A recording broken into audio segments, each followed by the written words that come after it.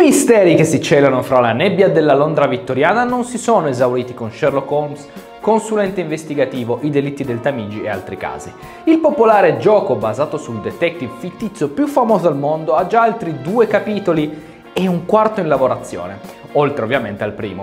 Questa volta analizzo la scatola blu, quella dedicata a Carton House e Queen's Park. Si tratta di una nuova edizione rivista e curata da Asmodee Italia, che ci porta 10 nuovi casi più moltissimi nuove prop da usare durante le nostre partite. Ma di che cosa si tratta esattamente? Per chi non lo sapesse, Sherlock Holmes Consulente Investigativo è un gioco cooperativo di investigazione pensato per un minimo di 1 fino a un massimo di 8 giocatori. La sua durata è sulla carta 60-90 minuti, ma non è affatto raro sforare i tempi previsti per alcuni dei casi più intricati. Esattamente come i delitti del Tamigi e altri casi, del quale ho già parlato in precedenza, anche Carton House e Queen Park si presenta in una confezione davvero bellissima, solida, ben curata, che non sfigura in una libreria e che dà il meglio di sé se affiancata agli altri due tomi della serie Sherlock Holmes Consulente Investigativo. Non mi stancherò mai di ripeterlo, i contenuti delle scatole di Sherlock Holmes Consulente Investigativo sono fantastici la confezione, durevole e bella, contiene un sacco di materiale, persino di più rispetto a quello trovato nei delitti del Tamigi e altri casi. Beh, vediamo che cosa c'è all'interno di questa scatola in dettaglio. C'è il regolamento sufficientemente snello per essere compreso piuttosto velocemente. 10 casi divisi in altrettanti fascicoli da affrontare in ordine cronologico, una busta con 12 indizi, una mappa di Londra con pinpoint specifici, un annuario con i nomi più importanti degli abitanti della città, 10 copie del Times, il giornale di Londra, le mappe di Carlton House che ritraggono i tre livelli della casa infine la mappa di Queen's Park. Sherlock Holmes Consulente Investigativo ha la stessa meccanica di gioco per tutte e tre le scatole disponibili. Esattamente come il primissimo capitolo, anche questo è un gioco che deriva lontanamente dai libri game. Non esiste quindi un Dungeon Master come nei giochi di ruolo, ma delle regole non sono neanche schematiche come i board games.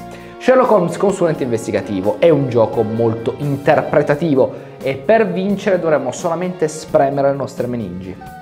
A dispetto del titolo, non andremo a interpretare il detective di Baker Street, bensì gli irregolari della medesima via. Chi sono? Beh, questi baldi aiutanti sono un gruppo di informatori e investigatori non ufficiali, fedeli a Holmes e Watson, spesso essenziali per la risoluzione dei casi del celebre detective.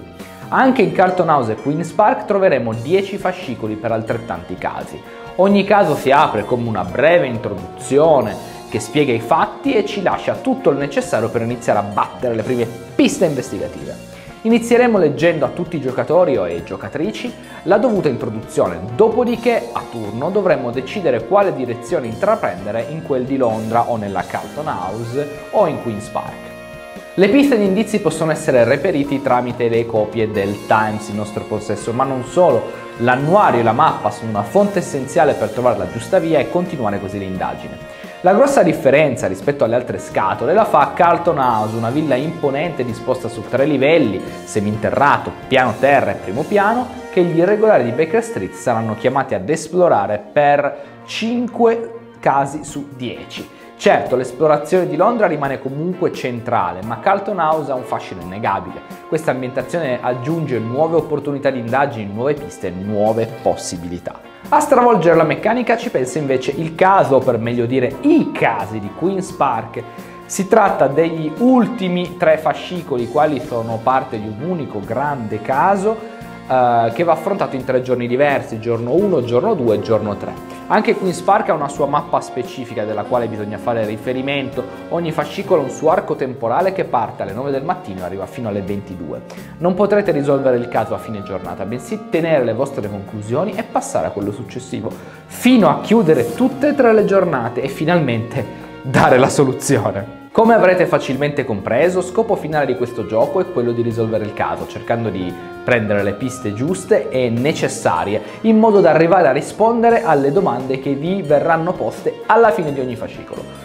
Questioni come chi ha ucciso Tizio, cosa faceva Caio e via dicendo dovranno trovare una risposta esatta nei nostri appunti. Ogni domanda con risposta corretta genererà un punteggio per la nostra indagine. Al termine della conta dovremo confrontare il numero di piste intraprese da noi con quelle scelte da Sherlock e rimuovere 5 punti dal nostro totale per ogni pista in più da noi seguita rispetto a quelle imboccate dal celebre detective. C'è da dirlo subito, il punteggio e le deduzioni di Sherlock sono davvero incredibili. Mi ritrovo però a consigliarvi di andare contro le condizioni di vittoria. Ebbene sì, il gioco vuole che impiegate meno piste possibile, ma è impossibile resistere al non perdersi per le vie fumose di Londra o per gli enormi corridoi di Carlton House.